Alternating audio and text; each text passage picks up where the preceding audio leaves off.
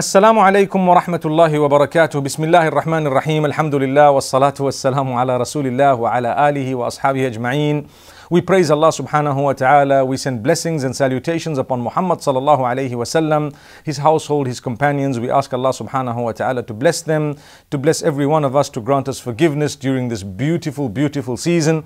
And we ask Allah subhanahu wa ta'ala uh, to be pleased with every one of us. I mean, my brothers, my sisters, Every one of us has needs. We call out to the Almighty. How do we call out to the Almighty? We need to seek the forgiveness of the Almighty. We need to praise Him. We need to express our dependence on Him, His independence from us, the fact that He has what we want.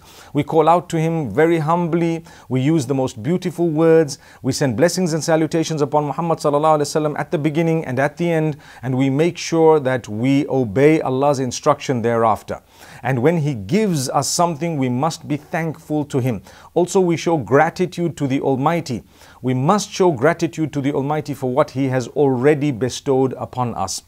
We're going through the supplication of the Prophet Ayyub alayhi salam, and I made mention of a hadith of the Prophet sallallahu alayhi wasallam in the previous episode where he says that those who are tested are the ones who are closest to us, and then the others are tested less and less and less. And a person is tested, he bears patience until he moves on the earth without, without a single sin on his back. So this is actually a bonus from Allah subhanahu wa ta'ala saying that you will definitely be forgiven as a result of the tests if you are to bear patience. Remember one thing, don't question the decree of Allah. No matter how difficult the hardship is, take it in your stride. Remember that the good days will always follow. And remember that if you are being tested, there are others who are better than you who were tested with that which was bigger than the test you have. May Allah make it easy for every one of us. I now want to move on to the Prophet Yunus alayhi salam. Uh, he was also known as the Noon, the Noon. Uh, you know, the one who was swallowed by a fish. The type of fish we don't know. There is a great discussion uh, about what type of fish it was. The reality is it was a fish and uh, he was swallowed by it. Very quickly and very briefly, he was sent by Allah to certain people. He called out, uh, you know, he called them towards Allah subhanahu wa ta'ala. They did not listen. So he decided, you know, he was upset. Mughadiban. Mughadiban, he was upset with them. So he walked away, thinking that, you know what, uh, it's okay, Allah's not going to punish me because I tried my best and now I'm going away. Not realizing that Allah subhanahu wa ta'ala would cause something to happen for him to return to his people because uh, the message still needed to be completed and delivered in, in the way that Allah subhanahu wa ta'ala uh, had wanted it to be. So Allah makes mention of something very interesting uh, that this man called out to Allah. He called out to Allah at his time of need. When exactly was the time of need? You see, he jumped onto the ship and the ship was sinking, so they had to uh, ask some of the people to jump over. Subhanallah, Subhanallah, it's very tough. May Allah not test us with this. So they knew this man was a good man. Uh, they started, they wanted to draw the lot. So every time the number came onto this uh, Yunus alayhi salam, he was asked to go out uh, the first time the people said, no, let's try again. They tried again, it was his name again. They tried a second, third time, it was his name all the time. So they asked him to leave. He jumped in, he was swallowed by a big fish, and it was darkness. Darkness. And the fish went right down to the bottom of that ocean. Uh, and it was very, very dark. Darkness of the whale, the belly of that, in fact, fish. I called it a whale, but the more accurate term is a fish. And darkness of the, the, the, the lowest part of uh, that particular sea or ocean. And in that darkness, he called out to Allah.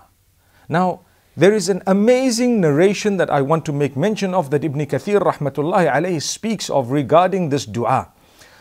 Allah says in the Quran, in Surah Al-Saffat, verse number 143, فلولا أنه كان من المسبحين للبث في بطنه إلى يوم يبعثون Had he not been from among those who always used to praise Allah, he probably would have stayed in the belly of that fish until the day of resurrection. Which means, because he used to praise Allah every day on the ordinary days, the day he needed it, Allah subhanahu wa ta'ala responded immediately. It goes back to a narration of the Prophet sallallahu alaihi wasallam wherein he says, تعرف إلى الله في الرخاء يعرفك في الشدة Get close to Allah, get acquainted with Allah during your days of ease, and Allah subhanahu wa ta'ala will be acquainted with you during your days of difficulty. This reminds me of Yunus alayhi salam. Allah says, فَلَوْلَا أَنَّهُ كَانَ مِنَ الْمُسَبِّحِينَ had he not been from among those who used to always praise us, declare our tasbih, he probably would have stayed in that condition right up to Qiyamah. So this goes to show my brothers and sisters Praise Allah during your days of ease when nothing is really wrong. Praise Allah. Search for the gifts of Allah upon you and thank Allah for what He has bestowed upon you when you don't have hardship. Uh, when you don't have hardship. So that the day you have a hardship and you call out to Allah, Allah will definitely rush to your assistance, like uh, the Prophet ﷺ has taught us. So Yunus alayhi salatu wasalam, he calls out to Allah subhanahu wa ta'ala as Allah says, وذا النون إذ ذهب مغاضبا فظن أن لن نقدر عليه فنادى في الظلمات أن لا إله إلا أنت سبحانك سبحانك إني كنت من الظالمين. Remember the Prophet Yunus alayhi salam. When he left his people, he was upset with them and he went away, thinking that Allah will not uh, punish him because he went away from people who uh, he, had, he had delivered the message to and they didn't listen to him. And then uh, he found himself in a certain condition, we spoke about that condition, and he called out to Allah in that darkness. What did he say? Just like we heard about the Prophet Ayub alayhi salam. This prophet, known as Yunus, the prophet Jonah, may peace be upon him, he too did not ask Allah to remove him from the hardship. He only praised Allah and declared that I was wrong. I, I did something wrong. Subhanallah. That's all he says. And Allah loved that so much. You know, when you admit your sin, when you admit your error to Allah, Allah loves it.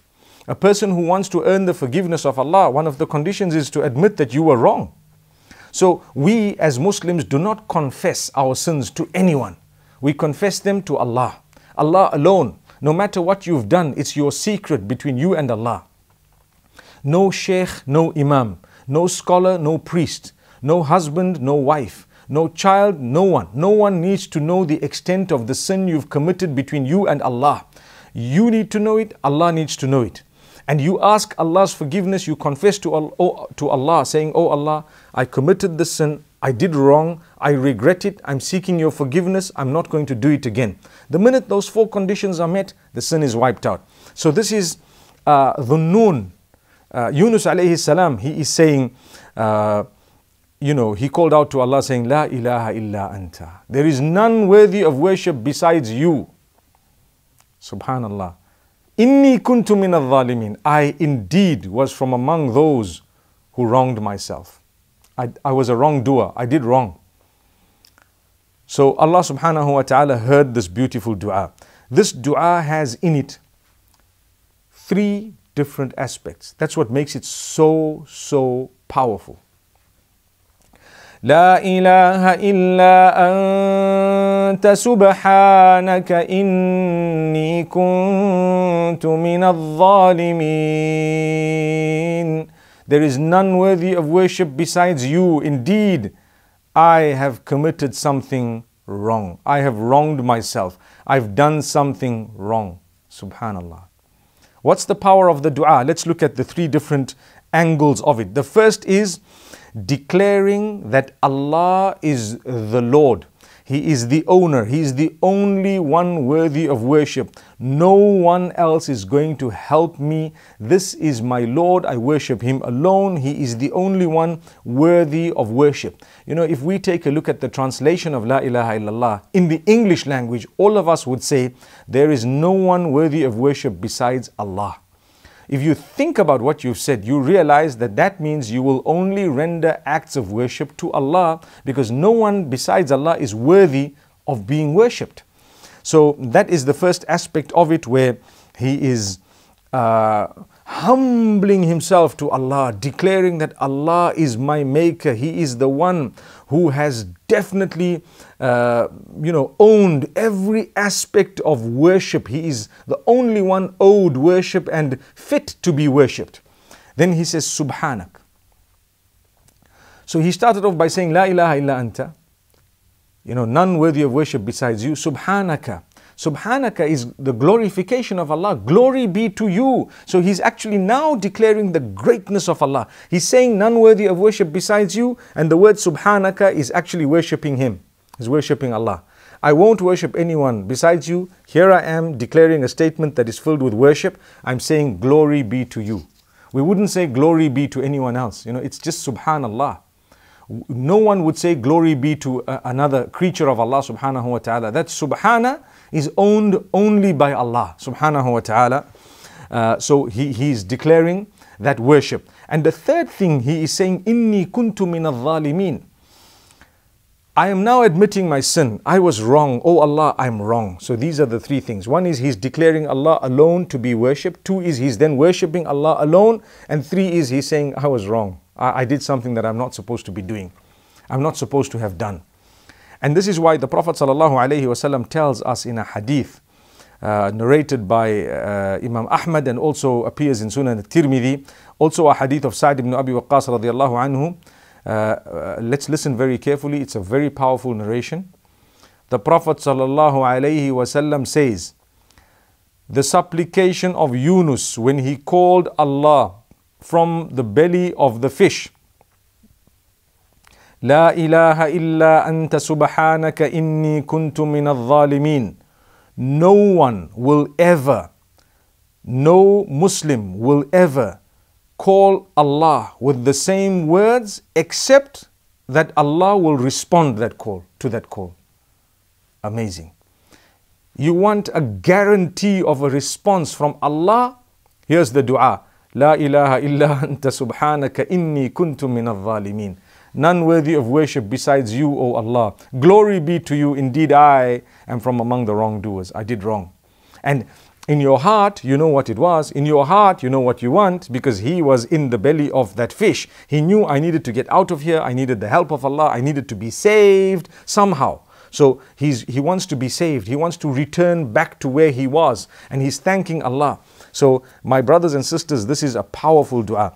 And this is why Allah subhanahu wa ta'ala says, فاستجبنا له ونجيناه من الغم وكذلك ننجي المؤمنين We responded his call and we saved him from that sadness and the sad condition he was in and that is how we save all the believers an amazing dua of Yunus alayhi salam. And something we've learned again is he didn't say, Oh Allah, take me out of this condition. Oh Allah. He just declared the praise of Allah. He declared that, Oh Allah, Allah alone is worthy of worship. And he says, Oh Allah, I, what I did was wrong. So Allah says, We responded by, by removing him from his sadness. Anyone who's faced with sadness, you may use this dua. It is a beautiful wording that is mentioned by Allah in the Quran and it was definitely spoken also by the Prophet Yunus alayhi salatu wasalam. May Allah subhanahu wa ta'ala grant us a beautiful understanding. I want to move on to the Prophet Musa alayhi salatu wasalam. What a great prophet of Allah subhanahu wa ta'ala, the Prophet Moses, may peace be upon him. He is the one who's mentioned the most in the Quran. His story takes up a large part of the Quran. Many surahs, many chapters have the story of Moses, Musa alayhi salam, or part of it. And a lot of his prayers are made mention of. You know, he was young, and as he was young, he grew up. When he was growing up, uh, in the first or second episode, we spoke about how he punched someone, and as a result, the person died. Immediately, he admitted his fault. What did he say? هذا من عمل الشيطان. He says, Oh Allah, ظلمت نفسي. Oh Allah, I've wronged myself. Look at the words. Oh Allah, this is from the, the handiwork of the devil. Oh Allah, if you don't forgive me, I'm going to be a loser. Subhanallah. So to admit your sin is one thing, then you call out to Allah subhanahu wa ta'ala. You know, you can blame shaitan for everything because shaitan definitely is at work all the time. But it's a good gift for a believer to blame the devil so that he comes out of it. You know, I always tell people who are who don't get along with each other that what a great gift it is when you can just say, "No, my brother, you know, shaitan came to me and shaitan made me do this and shaitan made me do that," and the brother will say, "Yeah, yeah, yeah, uh, I, I know, I understand. Shaitan came to me too, and it was," and then you embrace each other and you hug each other and you sort your problem out. And who was blamed? Shaitan shaitan. Although sometimes we do become little devils ourselves, but may Allah subhanahu wa ta'ala uh, not let that happen. Uh, however, it is not wrong to blame shaitan because even in the Quran, we're taught that the, the prophets of Allah also said that was shaitan. You know, look at Musa alayhi salam, he says, Hada min amali shaitan. This is from the handiwork of the devil. I, I'm not this way, this is not me. You know, I shouldn't have done this and I shouldn't be doing this. So that was something uh, that we had already spoken about. But as a result, they began to look for him and he left the city upon the advice of a man who came to him saying, If you want to be saved, you need to now leave the city. As he's leaving the city, he called out to Allah. Now, sometimes we are faced with a situation where, uh, you know, we are no longer at a workplace. Sometimes we're no longer, uh, we, we, uh, if you're an expatriate somewhere, you're no longer working somewhere, or you just lost your job, or you need to leave for some reason, depending on what it is. Uh, you, you might uh, take a lesson from what happened to Musa alayhi salam. So Musa alayhi salam here says, uh, and I'm just going to read the verse, verse number 21 of Surah Al Qasas. Allah says, فَخَرَجَ مِنْهَا خَائِفًا يَتَرَقَّبُ He came out from that city, uh, he was fearing and he was watching. قَالَ رَبِّ نَجِّنِي مِنَ الْقَوْمِ الظَّالِمِينَ He said, Oh my Rabb, save me from the nation who are oppressors, from these wrongdoers, from this group of people who are wrongdoers. Oh Allah, save me from them. So he, uh, the dua is رَبِّ نَجِّنِي مِنَ الْقَوْمِ الظَّالِمِينَ A beautiful dua. I can use it, you can use it if ever uh, we would like to ask Allah to save us from a specific people. Oh Allah, protect us from this group of people who are wrongdoers, the sinners. Uh, you know, the Pharaoh and the likes, they had committed and perpetrated heinous crimes. They were killing people uh, and they had done so much. And he is saying, Oh Allah, save me from these people. And then uh, Allah says, ولما توجه تلقاء مدين قال عسى ربي ان يهديني سواء السبيل when he faced when he faced the city of Midian because now he was heading in that direction he made a dua he says oh my rabb I, I, I hope i have hope in you that you will guide me to the best of paths, to the straightest of paths.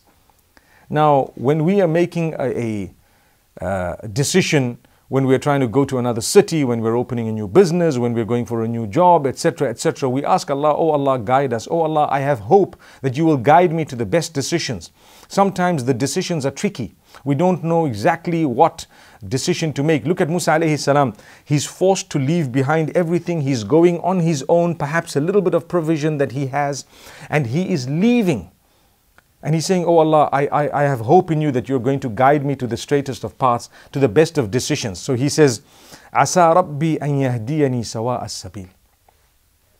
Let's fast forward a little bit. So he gets to Midian, he sees these ladies, he helps them with uh, the quenching of the thirst of their flock, and thereafter he makes a dua to Allah.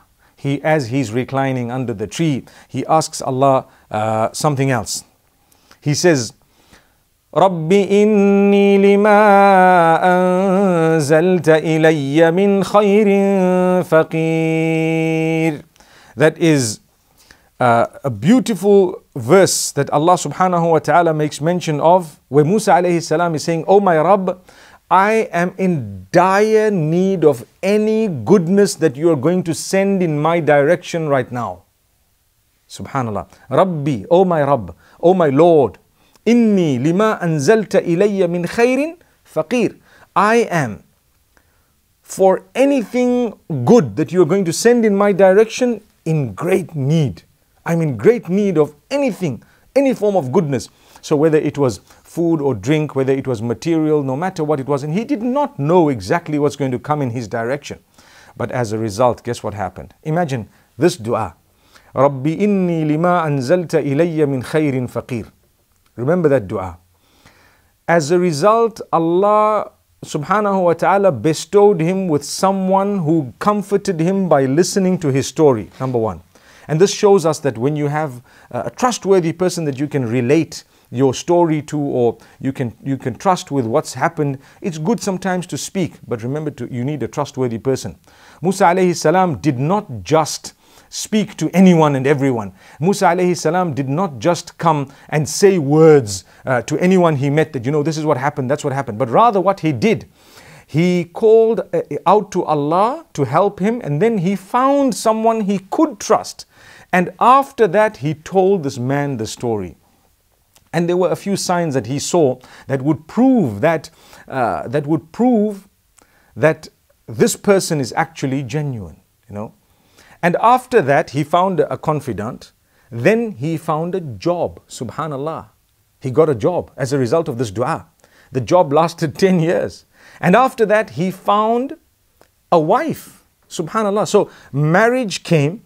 First, he found a very good friend who became his father in law, so marriage and his boss, which means he found a job. Subhanallah. If people are looking for jobs, looking for spouses, looking for so many things. Rabbi inni lima anzalta ilayya min khairin faqir. Oh Allah, whatever goodness you're going to bestow upon me, I'm in desperate need of it right now. Subhanallah and we repeat the dua. And there are so many other supplications. It's not just this one. Now, someone might ask, how many times should we repeat that dua? A lot of people ask me a question. You know, uh, there's this dua in the Quran. How many times should I repeat it? You know, someone told me to say it a hundred times. I've heard of someone who told another person to repeat a dua one million times. I want to tell you, to put a figure at how many times you should make the dua is usually not in the hadith of the Prophet ﷺ. When it comes to the dhikr and the remembrance of Allah, you have the Prophet ﷺ making mention of a hundred times, uh, you know, a certain dua, uh, a certain dhikr, a certain remembrance, or the Subhanallah, Alhamdulillah, Akbar 33, 33, 33, or 34, etc., or three times, four times, uh, a certain adhkar, adhkar meaning the remembrance of Allah. But when it comes to dua, a supplication, you say it with conviction even if it's once, twice, ten times, a hundred times, there is no fixed number. You need to call out to Allah based on your conviction until you are happy that I've called out to Allah. And you might want to repeat it and repeat it again. At every moment that you think about it, you may repeat it. It's permissible. There's no cap and there's no recommended number by the Prophet. Some people might recommend numbers, but that's not from the Prophet. I would advise you to follow your heart and to quench the thirst that you have within you to call out to Allah and keep it going with Allah subhanahu wa ta'ala. Don't lose hope. Look at this man. He's asking Allah. He's just been driven out of his city. He enters a new city. He's been very helpful. That shows us when you help people and when you help even those who are who might be strangers with goodness. You know, when you help people with goodness, obviously we're living in countries where it's not so easy sometimes to just help any stranger, but there are signs you will get that this is a legitimate cause.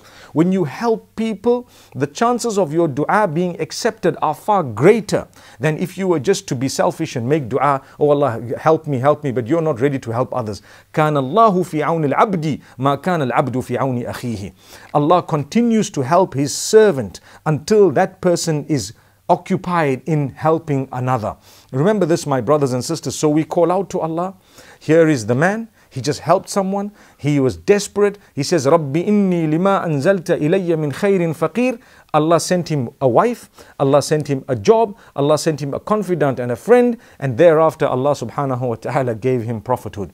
My brothers and sisters, what beautiful lessons we've just learned from this dua of Musa alayhi salam. I'm looking forward to seeing you again with the next episode where we will be looking at more of these supplications from Revelation. Until then, أقول قولي هذا وصلى الله وسلم وبارك على نبينا محمد والسلام عليكم ورحمة الله وبركاته.